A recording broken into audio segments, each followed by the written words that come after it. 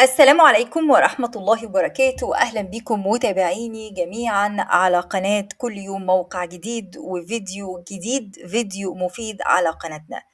النهاردة أنا جاية أجاوب على سؤال أحد المتابعين. كان جالي تعليق آه، على الفيديو الخاص بكيفية حذف أي عنصر باستخدام الذكاء الاصطناعي من الصورة.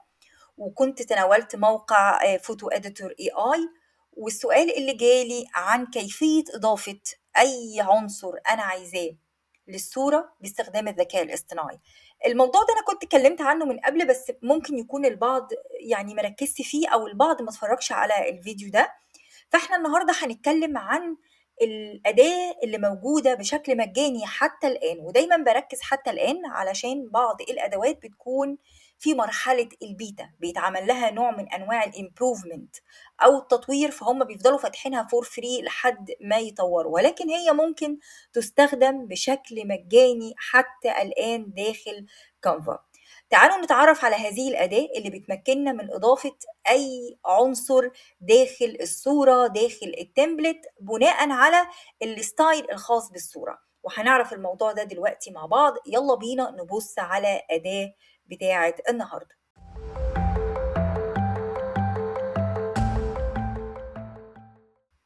لو دخلنا على موقع Canva ودخلنا نعمل أي post إحنا عايزينه ولنفترض مثلا أنا داخلة أعمل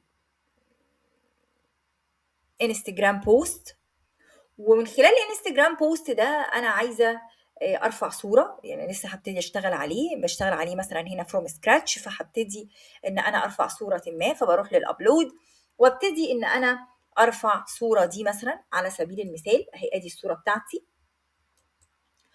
هحط الصورة في إطار آه، هخليها زي ما هي. ممكن أحط الصورة في إطار وأعمل لها corner وأكبر شوية الصورة بتاعتي وأبتدي إن أنا آه، أدي لون مثلا لل background بتاعي وليكن اللون ده أو أي لون تاني.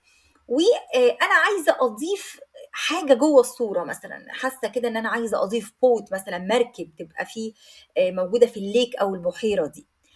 إيه اللي يقدر يعمل لي ده؟ أنا هروح الأول أعمل select على الفوتو وأبتدي أروح ل edit photo ومن edit photo بروح لل magic studio وال magic studio في حاجات كتيرة جدا فيه مدفوعة زي ما إحنا شايفين اهي في ال pro plan وأنا عندي account مدفوع وعندي account مجاني فأنا تعمدت إن أنا أعمل لك من ال account المجاني ال free plan عشان لو حتى الناس اللي بتستخدم ال free plan تقدر إنها تستخدم الخدمة دي وتشوف إنها شغالة حتى الآن بشكل مجاني.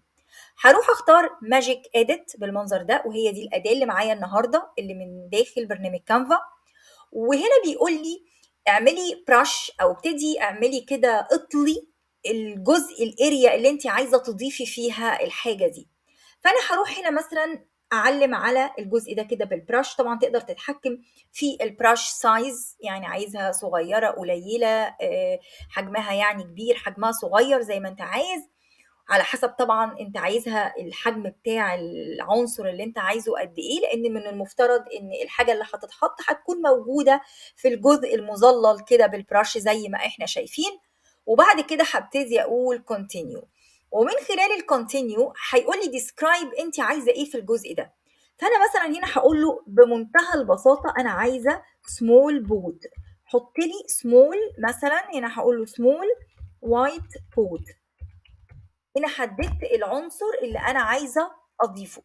هنا أنا حددت حددت العنصر اللي أنا عايزة أضيفه. هنا بيقول لي إن editing faces hands آه، أو leg أو legs isn't آه، هنا بيقول لك isn't intended for magic edit يعني. آه، لو عايز تعرف أكتر بتعمل learn more وتبص عليه. فهنا أنا بتكلم عن عنصر بشكل عام. العنصر ده هنا boat مثلا. هبتدي أقول له generate بالمنظر ده كده. ليه؟ لأن ال faces وال hands والحاجات دي دقيقة شوية. آه هنا هنشوف مع بعض كده ال result بيديني أربع اختيارات وأنا بختار ما بينهم الحاجة اللي أنا شايفاها مناسبة ليا إيه. آه ممكن مثلا سي أختار الأولاني أو التالت ممكن ده حلو قوي.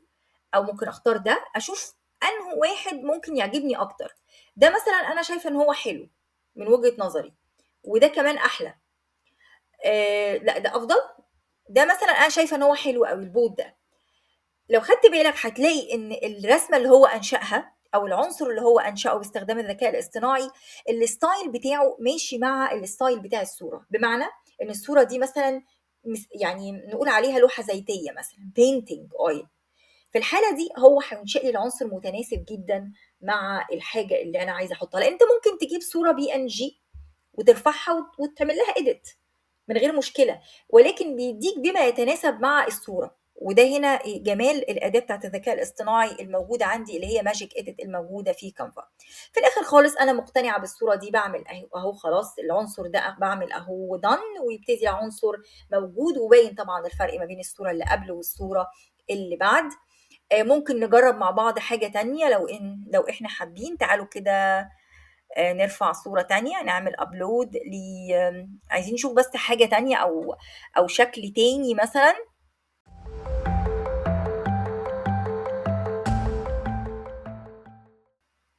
ممكن مثلا أحط حاجة زي كده هشيل ده.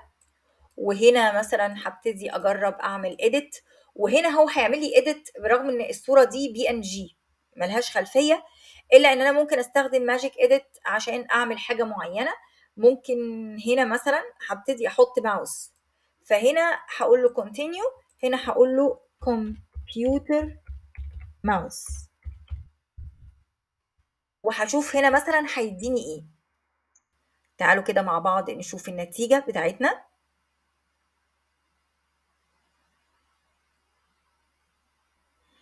آه، مثلا نشوف أكتر حاجة مناسبة ولتكن دي. آدي أهو ماوس. ماشي لحد كبير جدا.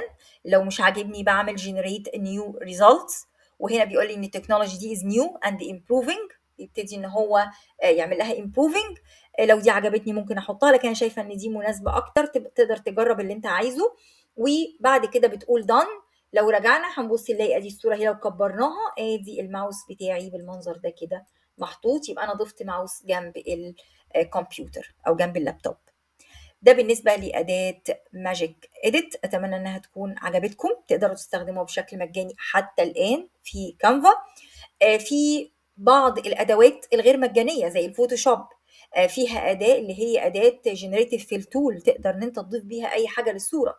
عندك أيضا Photopea وأنا اتكلمت عنه من قبل وشرحته. إن شاء الله ممكن أتناول الجزئية دي بالذات لوحدها في فيديو تاني إن شاء الله نتكلم عنها.